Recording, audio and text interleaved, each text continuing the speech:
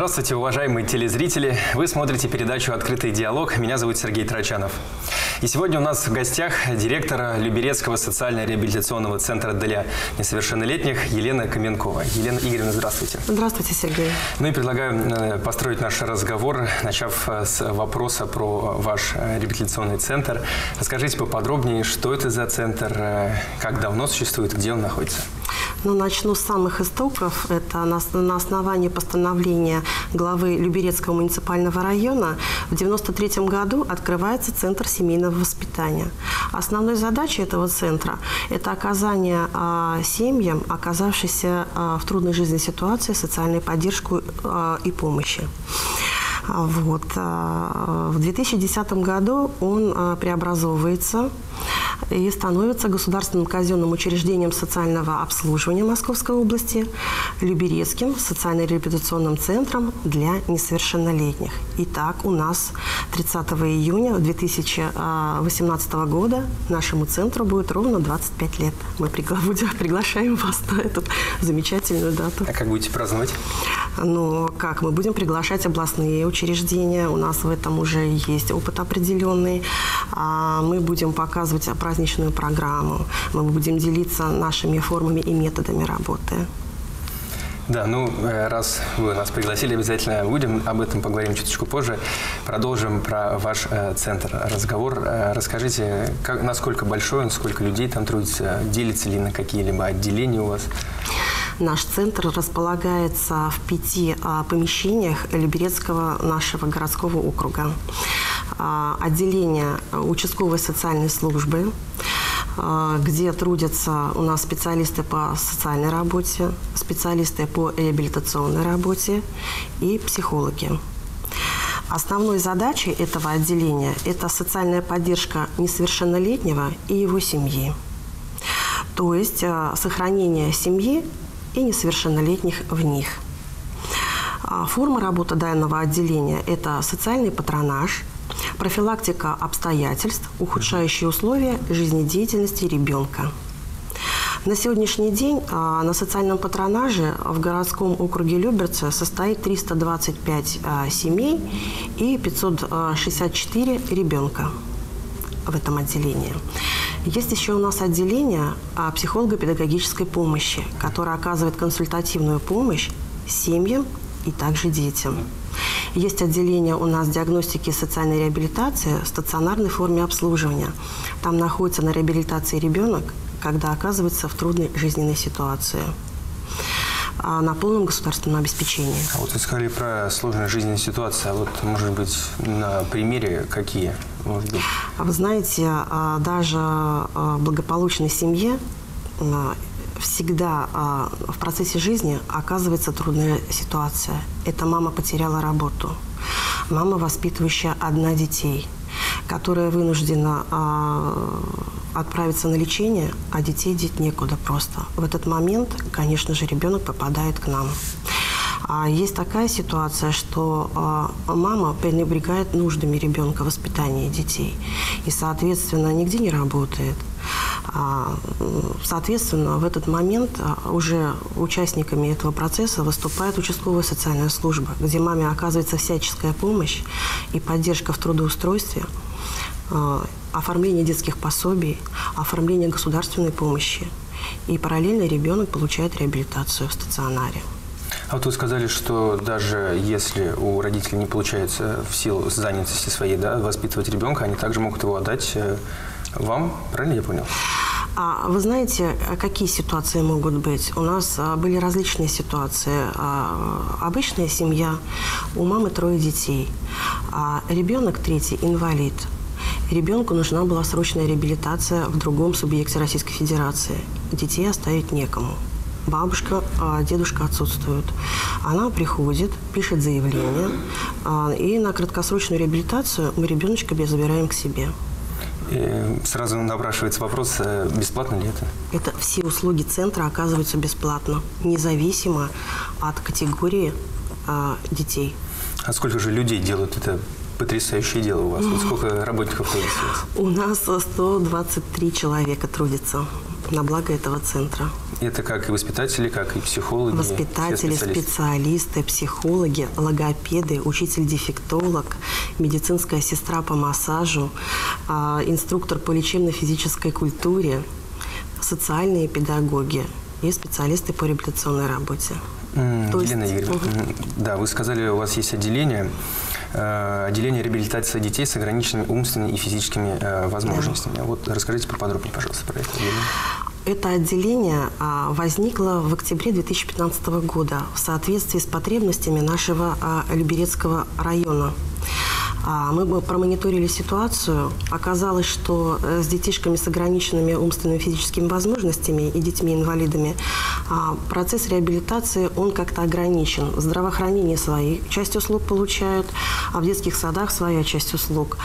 А в нашей сфере, в социальной защите, они получают комплексную реабилитацию непосредственно, куда входит это и медицинский массаж, это входит и ЛФК, это входит психолог, это и музыкальная терапия. Непосредственно вот такой вот комплекс реабилитационных а, услуг для ребенка. Угу. Ну и чтобы наши зрители представили масштабность ситуации, вот как часто к вам обращаются? Есть ли статистика? А, вы знаете, статистика по детям-инвалидам ведется – а, а более 720 детей-инвалидов у нас есть э, в нашем городском округе Люберцы. А статистика а, для детей с ограниченными возможностями здоровья, она у нас не ведется, она не предусмотрена. Что такое вообще ограниченные возможности здоровья?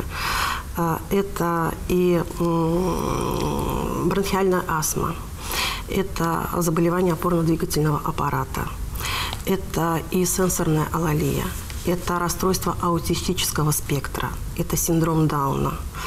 А, то есть ребенок имеет а, в своем здоровье какое-то ограничение. А, это задержка психоречевого развития, это задержка речевого развития. То есть, а, а, приходя к нам, ребенок непосредственно, опять-таки создается э, программа комплексная, индивидуальная под, индивидуальная под этого ребенка, да, где прописывается определенный ряд э, услуг социальных. Это и социально-медицинские, социально-психологические, социально-педагогические. Э, создается консилиум, где учитываются потребности этого ребенка. Если это задержка речевого развития, соответственно, туда включается учитель-дефектолог, либо логопед. Опять-таки проводится сначала диагностика с ребенком, насколько востребованность каждого специалиста нужна. А, но, как правило, детки приходят а, с определенным рядом заболевания. Например, если, как я уже сказала, что у ребенка задержка речевого развития, а у него могут быть и заболевания опорно-двигательного аппарата. То есть ребенок, попадая в наше отделение, проходит полностью комплексную реабилитацию. Он тут же идет, и э, ему делается лечебный массаж. Ему, э, значит, э, опять-таки, потребности мамы э, в психологе. Маме оказывается помощь, психологическая поддержка. Э, также э, музыкальная терапия педагог топ образования, арт-терапия, сказкотерапия, библиотекотерапия, анималотерапия. То есть ребенок получает полностью реабилитационный курс. У нас создана программа, а, так и называется «Вместе весело» на 90 дней где а, по окончанию курса ребенок уходит в постреабилитационное пространство, то есть он отслеживается также принимает участие в наших мероприятиях, различных культурно-массовых, потому что ребенок, самая главная, основная задача центра – это а, социальная адаптация этого ребенка в общество. А ребенок до этого находился в семье. Он не посещал ни детский сад, угу. а, ни школу, а, ну, в силу своих ограничений. Ребенок а, не занимался никогда совместными детьми. И вдруг а, ребенка надо интегрировать да, в общество, приучить его делать совместную какую-то деятельность. Это дается по крупицам, но это идет, эта работа. Елена Игоревна, а насколько эффективна эти, э, эта комплексная реабилитация? А вы знаете, когда ребенок приходит да, и проходит диагностику да, со своим заболеванием, со своим диагнозом, а, а, создается консилиум из, как я уже говорила, да, из психологов, из медицинских работников. из э, воспитателя и так далее, где ставятся определенные цели и задачи. Попадая ребенок к нам в отделение, обязательно мы должны знать, для чего он к нам поступил. Ставится определенная цель, что мы хотим от ребенка, чем мы можем помочь. А когда ребенка продиагностировали, а он уже идет с направлением, с определенным заболеванием, с рекомендациями, тогда уже начинается эта программа. И а, а, проходит месяц, проходит мониторинг, обязательно делается мониторинг, насколько эффективно мы двигаемся с этим ребенком, насколько продвижение идет. Вы знаете, я недавно увидела такую картину, где у мамы, э, у ребенка диагноз задержка психоречевого развития. Мама в возрасте уже родила ребенка, и ребенок оказался вот с таким заболеванием, не говорил. И э, наш учитель-дефектолог, она еще делает логопедический массаж по Новиковой. И буквально за месяц а малыш сказал слово «мама».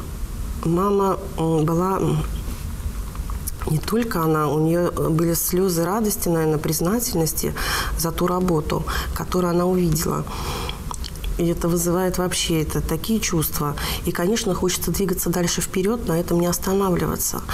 Поэтому, проходя второй месяц, опять-таки проводится мониторинг. Правильно мы ли движемся в этом направлении? Все ли услуги мы э, соблюдаем и оказываем этому ребенку в том же э, формате, в котором нужно это делать? И на третьем месяце уже, когда завершающая идет программа, а, а, мониторится ситуация, опять-таки диагностируется, вся ли программа была в полной мере использована для этого ребенка. И если это так, и а, опять-таки это же специалисты подтверждают, то ребенка отпускают уже в постреабилитационное пространство. Если что-то пошло не так и где-то упущено, а, повторяется, какая, какая повторяется курс да, реабилитации. Либо это уже идет узкий специалист, либо уже продлевается эта реабилитация. Но вы прекрасно понимаете, что ребенку-инвалиду она нужна будет, эта реабилитация всегда. Да, вот по чьей инициативе все происходит? Вы говорили, да, что есть случаи, когда люди приходят самостоятельно, а есть ли вот принужденные, да, вот, например, э, с другими органами э, забирается ребенок из семьи, вот такие случаи у вас имеются? А, вы знаете, а, вот личная позиция центра – это сохранить ребенка в кровной семье. Бывают такие случаи, конечно, когда уже идет неисполнение а, родительских обязанностей. Но а, наша задача центра все-таки реабилитация ребенка. То есть ребенок уже попадает ко мне в центр, когда в семье ситуация становится просто ну, для ребенка опасна, скажем так. Да? Он становится в социально опасном положении. Вот. И в этот момент, конечно же, наша служба, участковая служба непосредственно, она участвует э, в процессе реабилитации самой семьи. А, опять-таки, маму надо трудоустроить. А ребенок проходит курс реабилитации у нас в стационаре. Уважаемые друзья, прервемся на небольшую рекламную паузу и скоро вернемся в эту студию и продолжим разговор. Уважаемые телезрители, мы вновь в студии. Я напоминаю, вы смотрите программу «Открытый диалог». Меня зовут Сергей Тарачанов. А сегодня у нас в гостях директор Люберецкого социально-реабилитационного центра для несовершеннолетних Елена Каменкова. Ну что ж, продолжим разговор. Ваш центр является государственным, и, соответственно, бюджетирование идет с государственной стороны. Да? Вот расскажите по это поподробнее, есть ли у вас информация, сколько на каждого ребенка выделяется денег или нет? Ну, центр является э, казенным учреждением, и все средства э, идут из бюджета Московской области, Министерства социального развития. Но если э, каждая услуга стоит денежных средств для бюджета, то нетрудно сосчитать. Э, как правило, когда разрабатывается индивидуальная программа получателя социальных услуг, все эти услуги прописываются, да, а программа пишется в соответствии с потребностями получателя социальных услуг ребенка либо родителя. А, но мы прекрасно знаем, что в соответствии с 442 законом законом об основах социального обслуживания а, Российской Федерации а, все услуги детям до 18 лет предоставляются бесплатно. А могут к вам обратиться уже старше 18 лет люди? Конечно, конечно. Это уже будет на платной основе? Нет, Или бесплатно. Тоже все, бесплатно? все бесплатная основа, да, конечно. Это... Любая консультация может оказываться бесплатно. Лена Игоревна, а как люди к вам попадают? Что надо для этого сделать? А, абсолютно надо просто обратиться в территориальное структурное подразделение Министерства социального развития. А, в нашем а, округе это Люберецкое управление социальной защиты населения, Министерство социального развития Московской области. Просто обратиться с заявлением о том, что мне требуется помощь. А есть ли такое, ли у вас на практике, что люди, у которых действительно есть какие-то проблемы, но они э, боятся прийти к вам, э, могут подумать, что они будут после этого являться ущербными, либо вот может быть, как-то можно искоренить эту ситуацию, исправить это? А вы знаете, а, я вот хочу призвать здесь а, наши семьи, да, и особенно семьи, которые имеют детей – не стоит замыкаться в семье, э, в себе, если действительно вы испытываете трудности определенные, а, конфликтные ситуации со своими детьми, это в основном в подростковом возрасте а, может происходить, и мама или папа не находят общего языка с ребенком. А, также э, мама потеряла работу. Просто нужна психологическая консультация, экстренная помощь. Нужно обращаться, не стоит замыкаться в себе. Э, не носите этот груз на себе. В любом случае к вам придут на помощь и окажут ее в зависимости от вашей потребности. Если это э, нужно помочь с трудоустройством, мы всегда рядом. Если э, нужно ребенку оказать помощь, потому что не всегда ребенок может признать о том, что ему нужна помощь психолога, да, мама видит эту проблему, то в любом случае, мамочки, приходите, мы вам всегда окажем помощь в любом случае. Но опять-таки хочу что сказать. Э, э, в любом случае надо будет написать заявление в управление и э, описать ситуацию, в чем нужда этой семьи, конфликтная ситуация, либо это имеющая семья ребенка с ограниченными возможностями здоровья, либо это а, просто одинокий даже папа. Вы знаете, может обратиться сам подросток, ребенок – который попал в трудную жизненную ситуацию, попал в конфликтную ситуацию. А вот. Э, всегда здесь ему придет помощь в любом случае. И мы ее всегда окажем. Э, на примере профессионального человека, опытного человека, скажите, вот э, что, по-вашему, залог успешной семьи? Еще а, с давних времен старцы и мудрецы наставляли, что самое важное в жизни – это создание крепкой семьи. Какой ты фундамент построишь, на таком фундаменте и построишь дом. Поэтому хочется сказать, что э, те семьи, которые воспитывают детей, не забывайте, что тепло души и домашний уют – это очень важно для ребенка.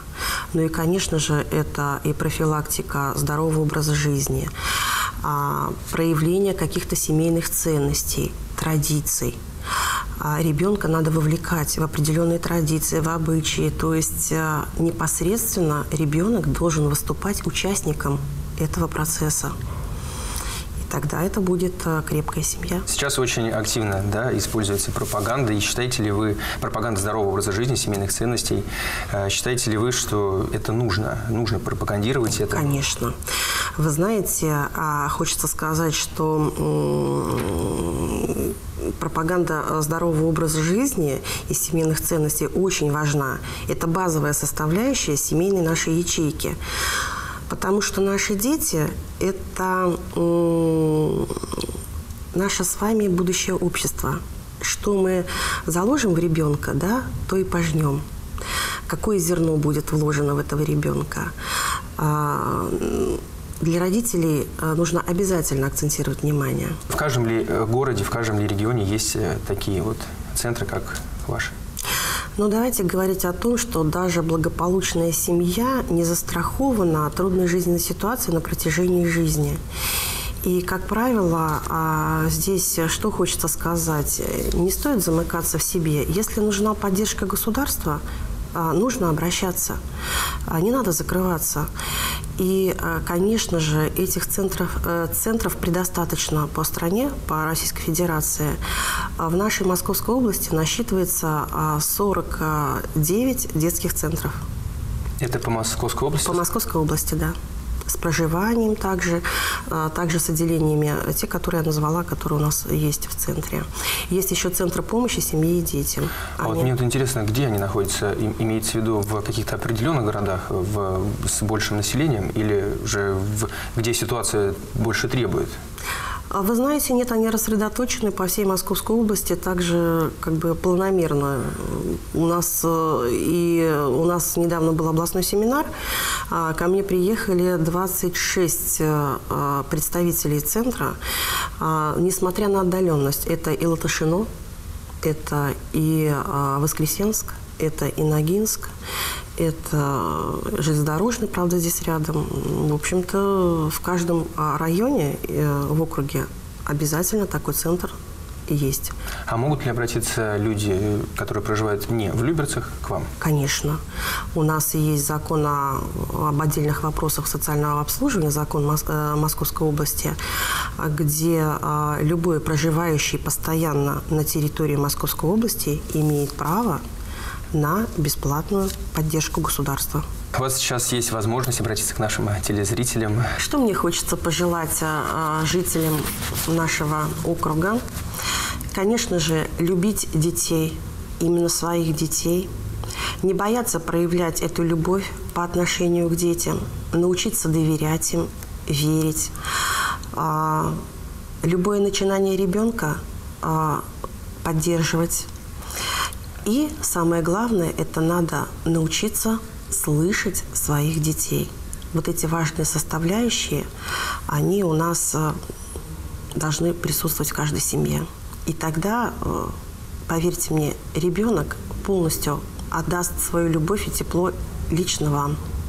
И не пойдет куда-то на сторону, и, не будет э, выговариваться, где его услышат. Это самое важное, может быть. Елена Игоревна, спасибо за то, что пришли к нам э, в программу. Уважаемые телезрители, я напоминаю, вы смотрели программу «Открытый диалог». Меня зовут Сергей Тарачанов, а сегодняшней нашей гостью была директор Люберецкого социально-реабилитационного центра Елена Каменкова. До свидания.